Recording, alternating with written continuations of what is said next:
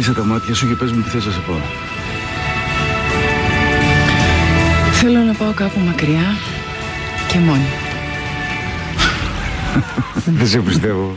Καλά κάνεις. Αχ, Ελένη. Πόσο ίδια έμεινες. Δυνατή και σίγουρη για τον εαυτό σου. Κι όμως κάνεις λάθος.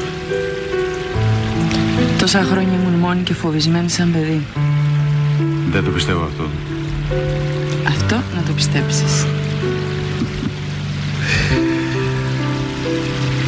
Πες μου τι καταβάθες δεν έπαιξες να με χαπάς.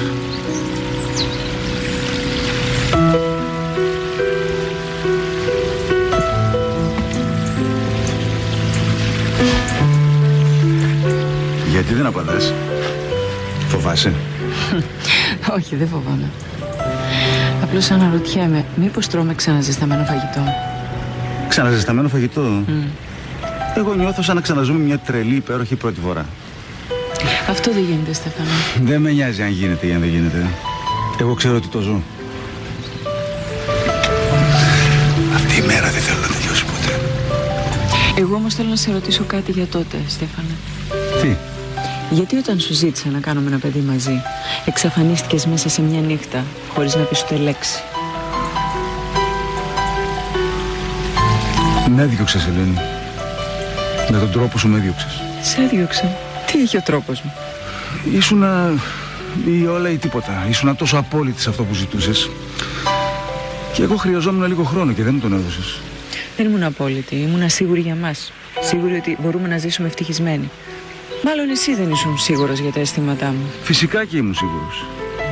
Το ένιωθα ότι με λάτρευες. Ότι δεν είχες μάτια για άλλον. Ότι γινόμουν όλος ο κόσμος σου.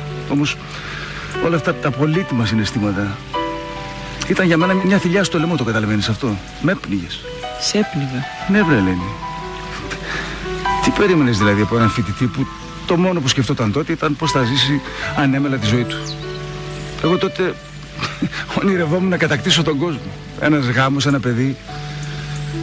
Θα έβαζε τέλεια σε όλα μου τα όνειρα. Έπρεπε αυτή τη συζήτηση να την είχαμε κάνει τότε, Στέφανε. Μα- Έχασες.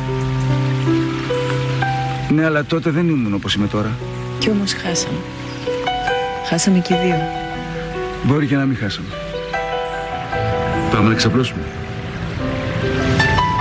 Τι δεν ξαπλώσουμε; Πόσο καιρό έχεις να ονειρευτείς; Θέλω να σε πάρω στην αγκαλιά μου, να κοιμηθείς και να ονειρευτείς μαζί μου.